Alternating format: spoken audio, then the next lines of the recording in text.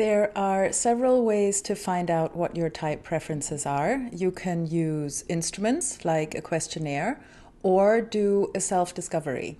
I like to do a combination. In this video, I'll share a little bit about where type theory came from, the most prominent instrument and its common criticisms, another way to look at type, and what you can do to make sure to get a result that really resonates with who you are. The personality type theory that people use today is based on the work of Carl Jung. He was a Swiss psychiatrist and he first published his work on psychologische Typen in 1921. It described behavioral patterns he observed in individuals over a span of many years, which he then linked to eight cognitive functions. Cognitive functions is another way to say how we use our brain. The functions describe how we are energized, how we gather and process information, and how we make decisions. Jung's framework explains how seemingly random behavior actually follows a pattern. It's an excellent tool for personal growth that shows how we can become balanced in our psyche. It also provides a non judgmental language to better understand yourself and others. When people talk about personality type, they often refer to a four letter code.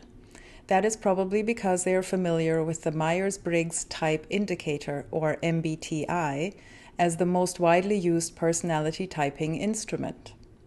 Mother daughter pair Katharine Cook Briggs and Isabel Briggs Myers read Jung's work and then deconstructed his framework and separated the functions from the pattern to assemble their questionnaire. The result is a four letter code out of 16 possible combinations, for example, ISTJ or ENFP. The letters are shorthand for the person's underlying cognitive functions. The MBTI is not a test because there are no wrong answers. It is licensed, so you can only take it through the company or a certified facilitator like myself in other words, if you've ever taken a free personality test online, it wasn't the MBTI. For many, filling in the questionnaire is very insightful, but some experience it as too binary.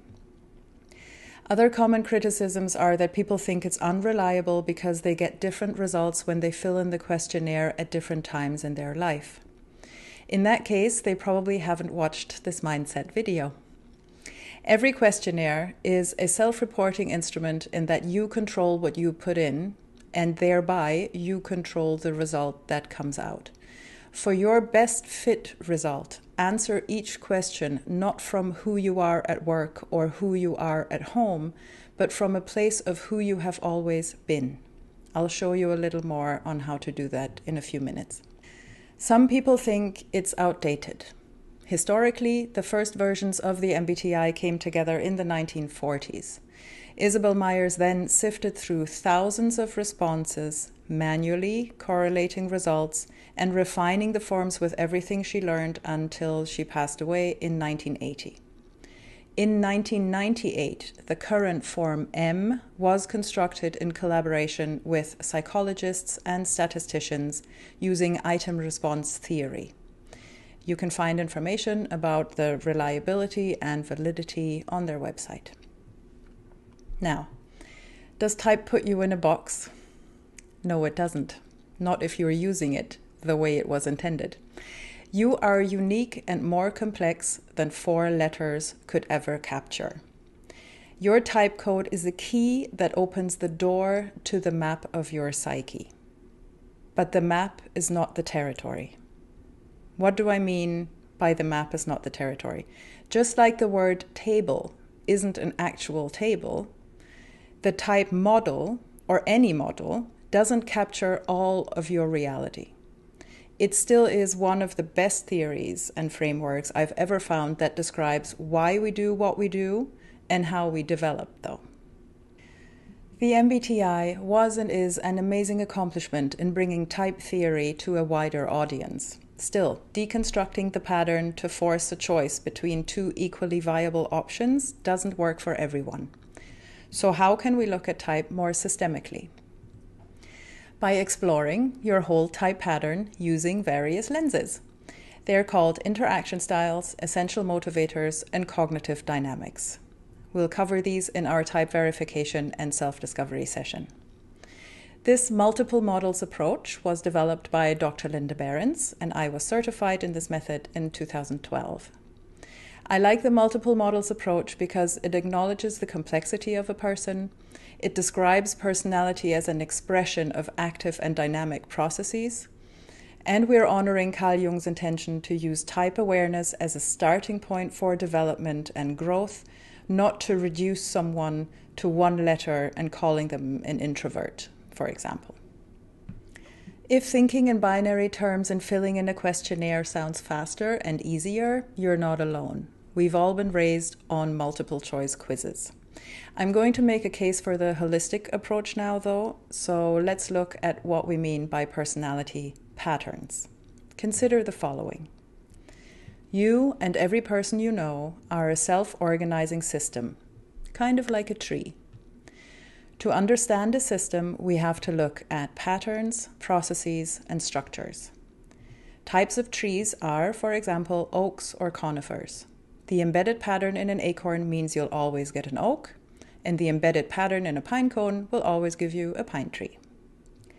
Trees have processes like photosynthesis that help maintain their system, and those processes look slightly different for each tree.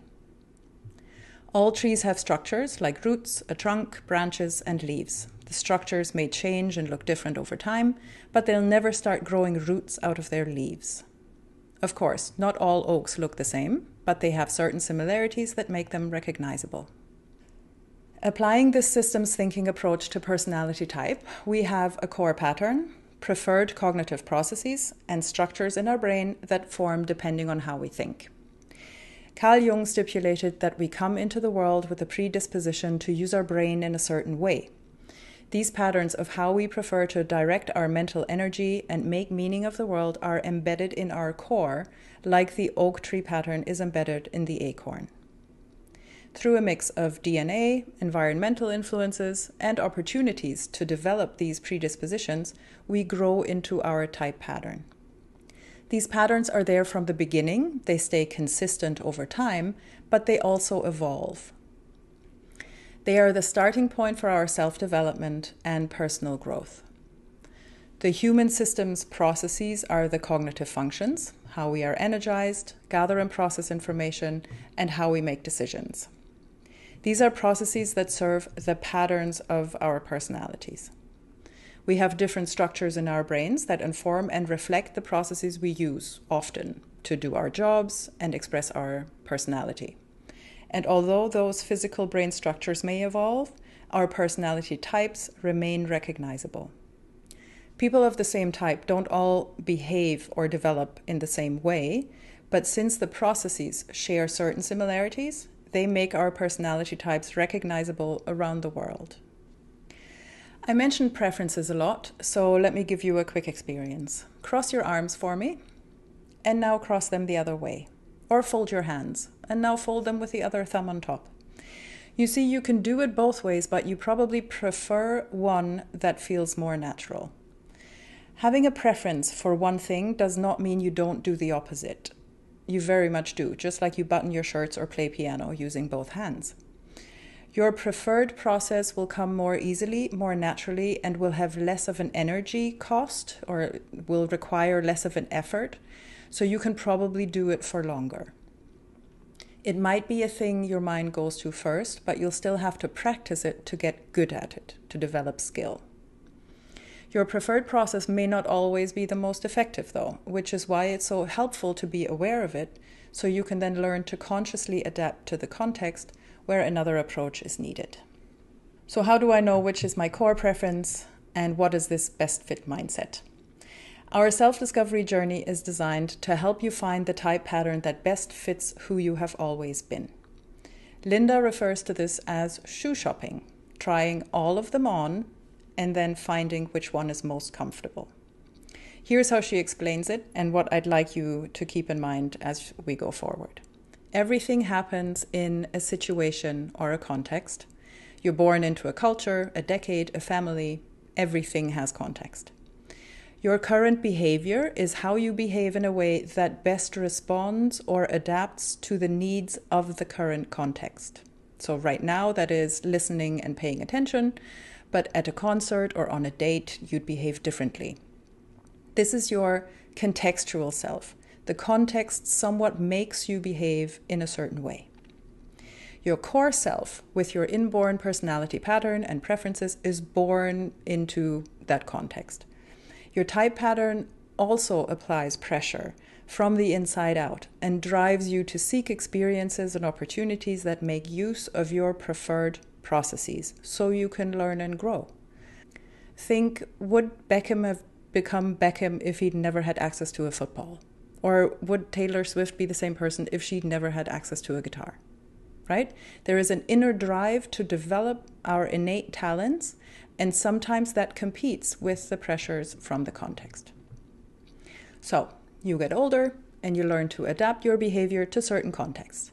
And then, when that adaptive behavior is something you do a lot, like for a job or a hobby, and you get good at it and you develop skill, it becomes an aspect of your developed self. Your developed self is who you are now, how you express your core drives and needs in line with outside pressures from the context, plus all the skills you've developed over time. So, in other words, your contextual self is where you use your type. Your core self comes into the world with that innate pattern of preferences. And your developed self is the skill you develop using your preferred functions over time. When we're looking for your type preferences, we're looking for the core self, how you came into the world. So as you go through our self discovery process, the question again isn't whether you should answer from who you are at work or who you are in a crisis, because those would be your contextual selves or the roles you have. You also shouldn't answer from a place of who you were told to be or who you want to be after your next PhD. That would go into your developed self to get to who you are at your core, you want to answer from the place of who you are and who you have been over time. Everyday situations, everyday joys, everyday annoyances, all the things that really resonate at a deep level. And once we know that starting point, we can dive deeper into how it's showing up for you in your life and relationships, and how you can practice developing the other functions for balance and wholeness. Here's the caveat just to manage expectations a little bit. It is my intention and indeed my deep desire to help you find your best fit personality type pattern, but I cannot guarantee that we'll neatly land on one within an hour. Depending on your age and your life experiences, you may find yourself in more than one description. I'll remind you to approach the self discovery from a place of curiosity and exploring your core, but in the end, you are the expert of what is your best fit type. So, to sum up, we talked about how Carl Jung's theory is a model and a framework that helps us understand how we are energized, how we use our brains to process information and make decisions. Our personality type patterns are inborn, but they are not a static box. They are a starting point for growth, like an organizing principle around which our human system develops. Finding out what your innate type pattern is is a journey. The older you are, the more experiences you've had in life, the more layers you'll have to peel back. Just remember to separate context from core.